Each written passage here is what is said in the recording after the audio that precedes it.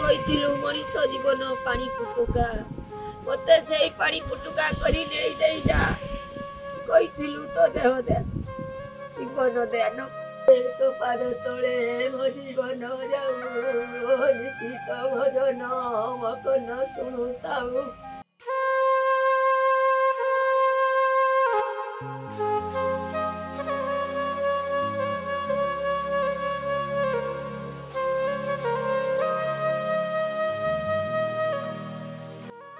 ପୁଅର ଶେଷ ଇଚ୍ଛା ପୂରଣ କରିବାକୁ ଯାଇ ପଚାଶ ଲକ୍ଷ ଟଙ୍କାର ସମ୍ପତ୍ତି ଦାନ କରିଦେଇଛନ୍ତି ବୃଦ୍ଧା ମା। କାହିଁକି ନା ଏତେ ସମ୍ପତ୍ତି ବାଡ଼ି ସେ କାହା ପାଇଁ ରଖିବେ? ଯାହା ପାଇଁ ଦୁଃଖ କଷ୍ଟ ସହି ଏତେ ସମ୍ପତ୍ତି ବାଡ଼ି କରିଥିଲେ ସେ ତ ଏଇ ଦୁନିଆରେ ଆଉ ରହିଲା ନାହିଁ। ତେଣୁ ଏତେ ସମ୍ପତ୍ତି ମୁଁ କାହା ପାଇଁ ରଖିବି କହି ବାହୁନି ବାହୁନି କାନ୍ଦୁଛନ୍ତି ମା ଜଣକ।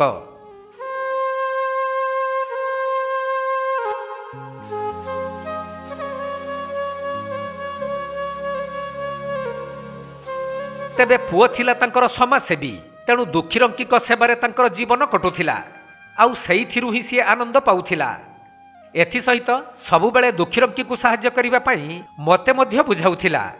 ତେଣୁ ଏତେ ସମ୍ପତ୍ତି ବାଡ଼ିବା ରଖିବି କାହା ପାଇଁ? ଏଥିସହିତ ପୁଅର ଶେଷ ଇଚ୍ଛା ଥିଲା ଅଙ୍ଗଦାନ କରିବାକୁ। ସୂଚନାଯୋଗ୍ୟ ଯେ ବାଲେଶ୍ୱର ଜିଲ୍ଲା ସୋର ବ୍ଲକ ଅନନ୍ତପୁର ପଞ୍ଚାୟତ ଅଇରି ଅଞ୍ଚଳର ଦୀପ୍ତିକାନ୍ତ ପାଢ଼ୀ ଜଣେ ସମାଜସେବୀ ଭାବରେ ପରିଚିତ ଥିଲେ। ହେଲେ ଦୁଇ ହଜାର କୋଡ଼ିଏ ମସିହା ଫେବୃଆରୀ ଅଠର ତାରିଖରେ ଏକ ଟ୍ରେନ୍ ଦୁର୍ଘଟଣାରେ ତାଙ୍କର ପ୍ରାଣ ଚାଲିଯାଇଥିଲା। ସେପଟେ ମା ସୁଷମା ପାଢ଼ୀ ପୁଅ ଗର୍ଭରେ ଥିବା ସମୟରେ ତାଙ୍କ ସ୍ୱାମୀ ଘରୁ ତଡ଼ିଦେବା ପରେ ନିଜ ଭାଇ ପାଖରେ ରହି ପୁଅକୁ ଜନ୍ମ ଦେବା ସହ ଲାଳନ ପାଳନ କରି ପାଠଶାଠ ପଢ଼ାଇ ଭଲ ମଣିଷ କରାଇଥିଲେ। ଆଉ ପରେ ତାଙ୍କ ମାମୁଁ ମଧ୍ୟ ଭଣଜାକୁ ନିଜ ସମ୍ପତ୍ତି ଦେଇ ତାର ପାଠପଢ଼ା ସହିତ ସବୁ ହସ ଖୁସିରେ ନିଜକୁ ସାମିଲ କରି ନିଜେ ମଧ୍ୟ ଖୁସି ହେଉଥିଲେ। ଭଣଜାର ଦ୍ୱିତୀୟ ଶ୍ରାଦ୍ଧବାର୍ଷିକୀରେ ଆମେ ତାର ଘର ଏବଂ ତାର ଯାହା ଏସେଷ୍ଟ୍ରା ସମ୍ପତ୍ତି ବାଡ଼ି ଏମିତିକି ସମସ୍ତକୁ ଆମେ ଗରିବ ଅସହାୟ ନିରାଶ୍ରୟ ଲୋକଙ୍କ ବାବଦରେ ଦାନ କଲୁ ଏବଂ ସେ ଦାନଟି ଯାହା କଲୁ ସେ ହେଉଛି ଗୋଟେ ଦୀପ୍ତିବନ୍ଧୁ ସ୍ୱେଚ୍ଛାସେବୀ ସଂଗଠନକୁ ଦାନ କଲୁ। ଦୀପ୍ତିବନ୍ଧୁ ସ୍ୱେଚ୍ଛାସେବୀ ସଂଗଠନଟି ମୁଁ ଏବଂ ଅନ୍ୟମାନେ ବିଭିନ୍ନ ଅଞ୍ଚଳରୁ କିଛି ଆଠ ଦଶ ଜଣ ସ୍ୱେଚ୍ଛାସେବୀମାନ ଯାହାକି ବିକ୍ରମ ନାୟକ ମାନସ ପଣ୍ଡା ଏଭଳି କିଛି ଲୋକଙ୍କ ମେମ୍ବର ଅଛନ୍ତି ସେଇମାନଙ୍କ ଇଏରେ ଏଇଟା ଅନୁଷ୍ଠାନଟି ଚାଲିବ। ବନ୍ୟା ବାତ୍ୟା ସମୟରେ କିଛି ଲୋକ ସାହାଯ୍ୟ ସହାନୁଭୂତି ପାଇବେ ଆଉ। ଏବଂ ନିରାଶ୍ରୟ ବୃଦ୍ଧା ଏମାନେ ଯଦି କେତେବେଳେ ପୁଅ ଝିଅଙ୍କ ପାଖରୁ ହଇରାଣ ହରକତ ହେବେ ଆସିକି ଘରେ ରହିବେ ଏବଂ ଖାଇବା ପିଇବା ତାଙ୍କୁ ଆମେ ଦେବୁ ଆଉ। ଅନ୍ୟପଟେ ବହୁ ଦୁଃଖ କଷ୍ଟ ଗର୍ଭ ଯନ୍ତ୍ରଣା ସହି ପୁଅକୁ ଜନ୍ମ କରି ତାର ଲାଳନ ପାଳନ କରି ବଡ଼ କରିଥିଲେ ମା।